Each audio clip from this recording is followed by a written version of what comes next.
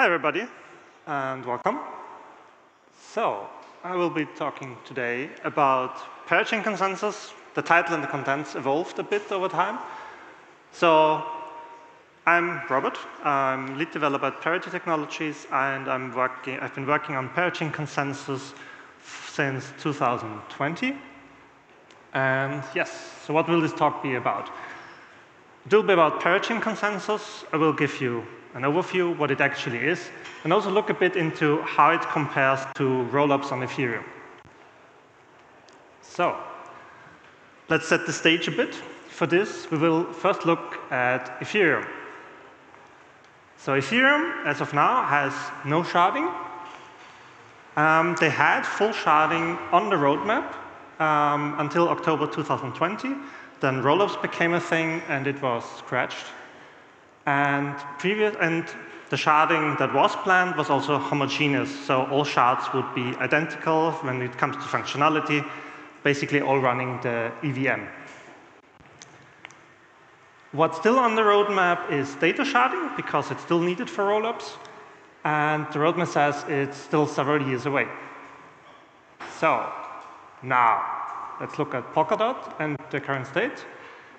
Um, Polkadot has full data execution and heterogeneous sharding, and it's live since December 2021. So I think that's pretty cool. So let's have a closer look. What is parachain consensus? First of all, it's sharded, so the validation of all the shards of all the parachains is done by the, act, by the staked validators, which bring the economic security to the network. We have, we don't even trust them. We have a two-third honest assumption. So a full third could be entirely malicious. So we have a three-phase pessimistic validation of each and every parachain block. We do have sharded data availability via erasure-coded chunks. And we also have quite fast finality, which is usually just a couple of relay chain blocks, and the block time is, currently, is six seconds. We do also have external nodes, not validators, nodes that don't add to the economic security of the network. We call them collators. We need them for liveness in a limited fashion. We do have our data availability layer, so the liveness requirements are pretty low, but they exist. Good.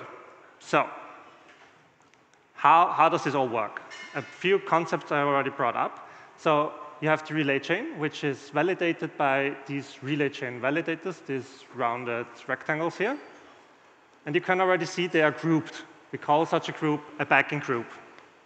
And each backing group is responsible for securing a shard, a parachain. So this is a parachain, F, and these are the collator nodes, which are external to the relay chain. They are not known by the relay chain. They could be anybody. And they are maintaining this parachain. Um, what this means, we will see in a bit.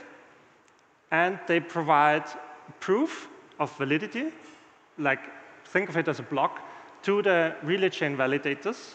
So, and they will validate that this state transition is actually good.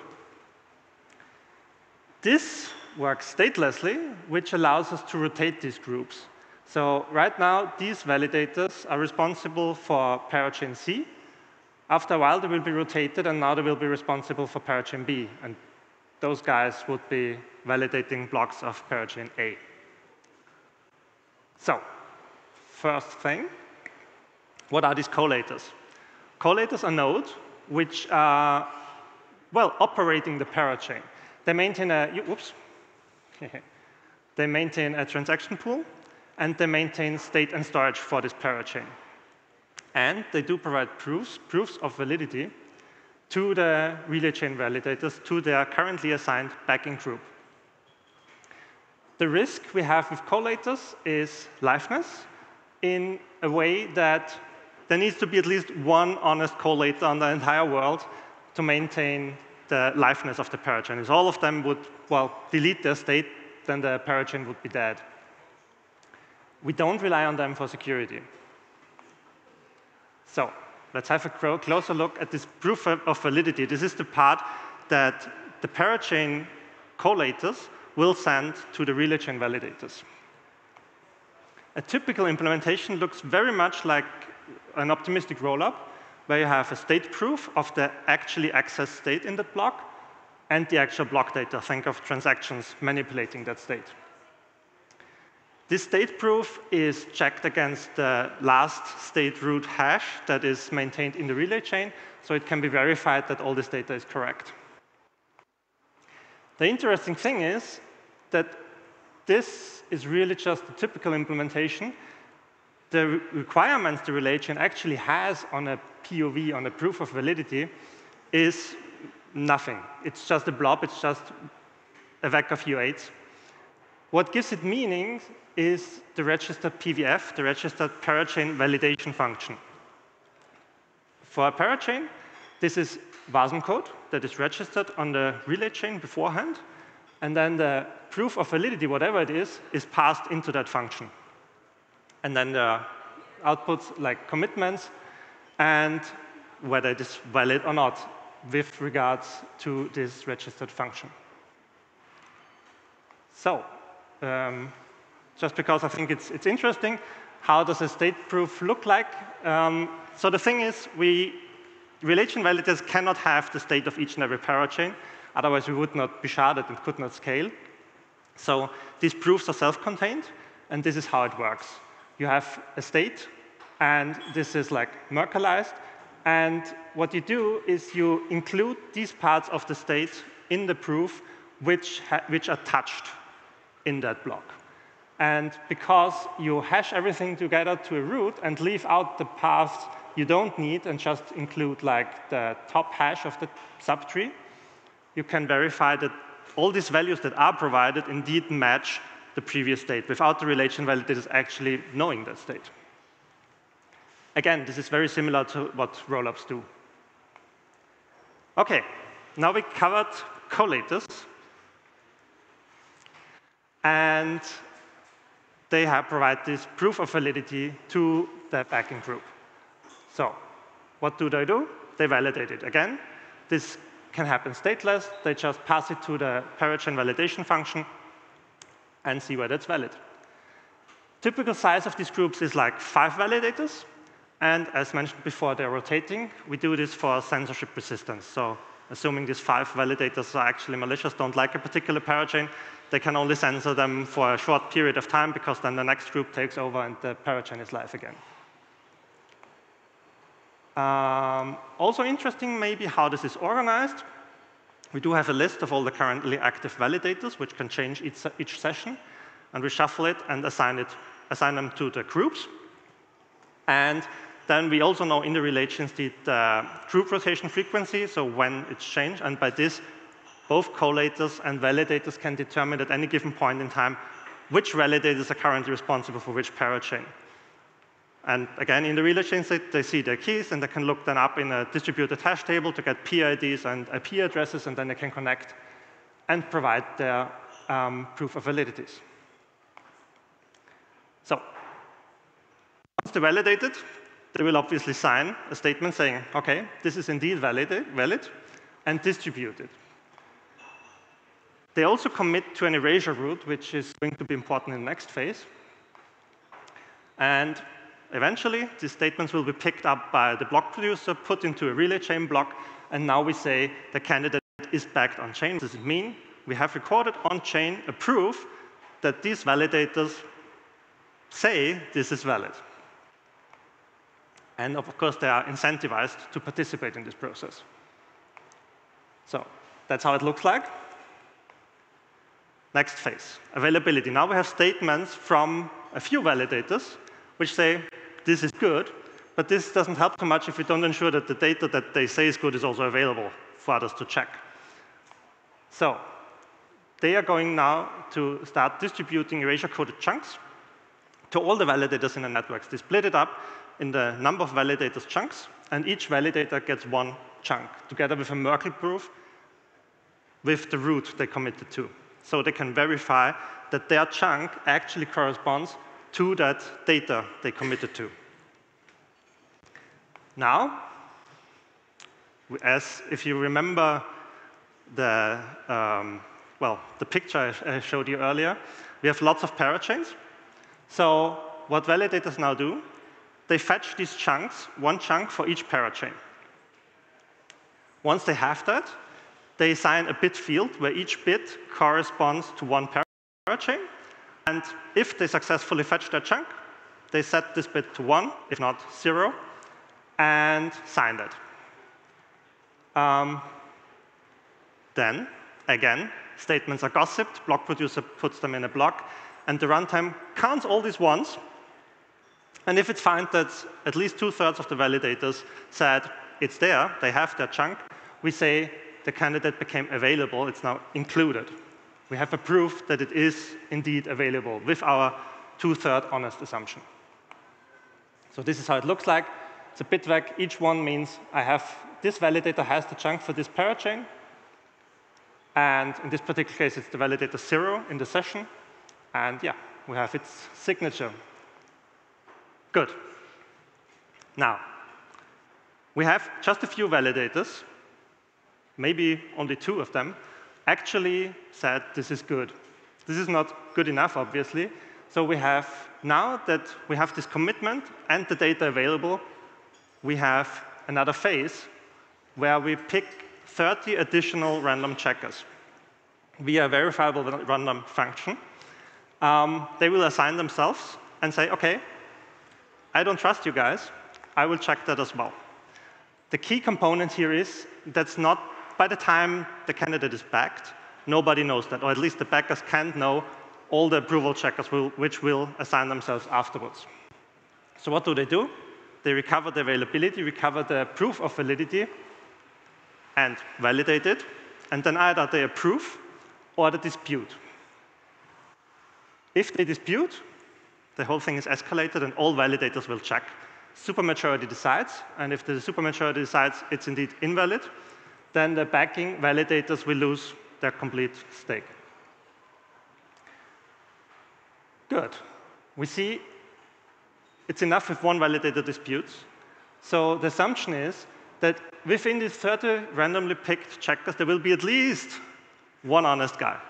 That's enough for the protocol to work, because this guy will raise a dispute, everybody's checking, and offenders will get slashed.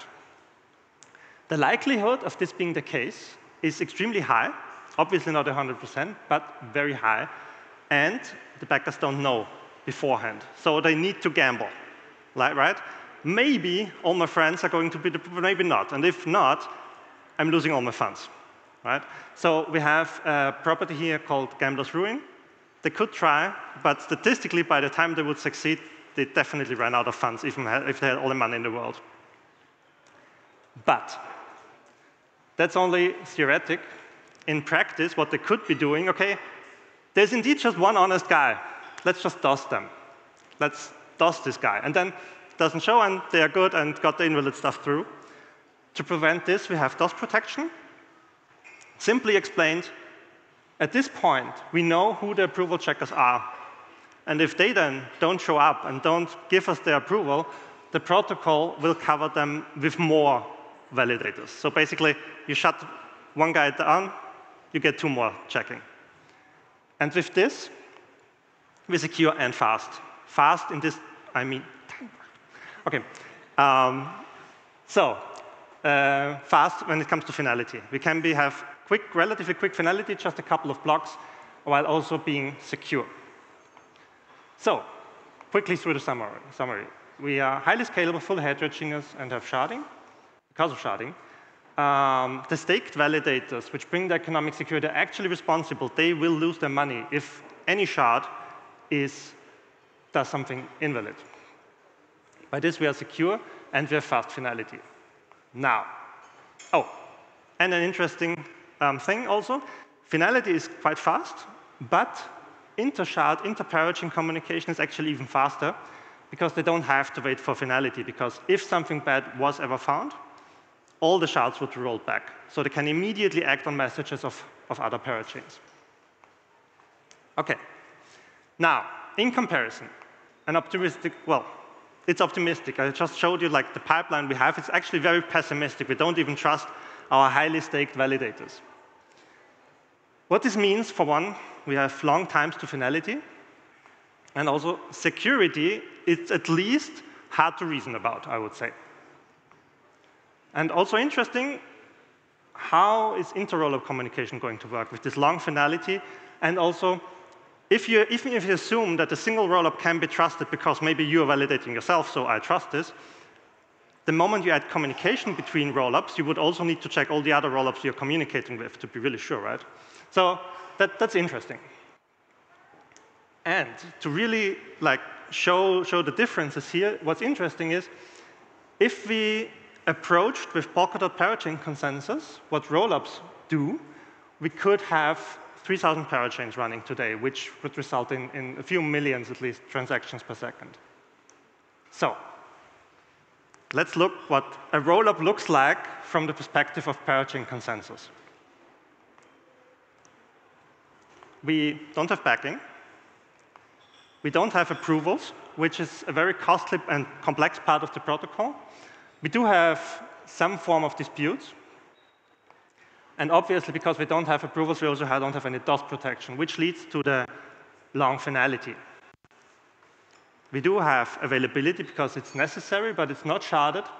And indeed, if you look at it, the base layer, the layer one, for a rollup has does nothing really in the, in the, well in the optimistic case, right? If no, no one disputes, the only thing that's provided by the base layer is the availability.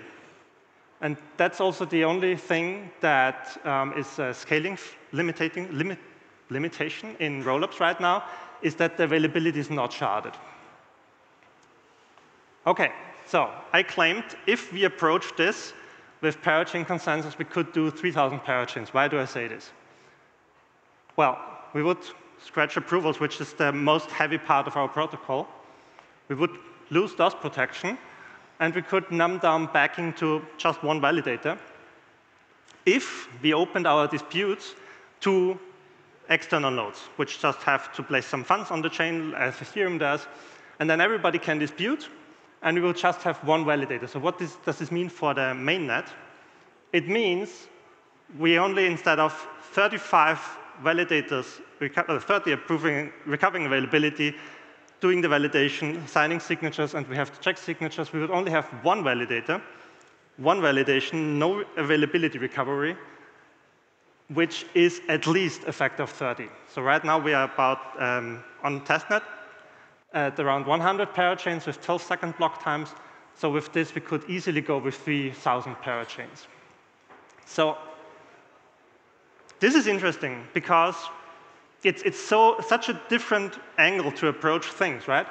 At the one side, we have fast finality and easy to reason about security. And on the other side, you have, well, very good scalability. Um, so I found this really interesting when I learned about rollups, this, this totally different way of approaching things. If the security of rollups is good enough and, and works, then why are we doing this, basically? Um, so, but we don't know that yet, at least I don't. So what's next? We don't plan on doing this for now. For now, that's good enough. Um, for now, we will look at improving our efficiency. So what we are currently testing on having testing on a test network is asynchronous backing, which improves our throughput per parachain because the process can be pipelined and parachain blocks can be bigger which means that the constant overhead we have through the approval voting process will be lower with regards to the actual payload. Um, and on-demand parachains. Right now, you have to get a slot for like two years, and then you should, or at least can, produce a block every 12 seconds. With on-demand, for startups or chains that are not that heavy, they can actually only produce a block and only pay for a block when they actually need to produce one. For example, if you can think of either early applications or applications which are mostly read-only, which only need to update like once in a while, then they will, hey, I need a block, they pay, produce a block, and that's it, which drastically reduce also the load on the, on the network. In the same vein is Agile Coretime. Gavin Wood later on will tell you more about that. And interesting, uh, interesting, we are also experimenting right now with exploiting the generosity of our POVs, as I discussed earlier. So there will be some interesting stuff coming here. OK, um, that's pretty much it. Thanks. And yeah, I, I hope I have time for questions.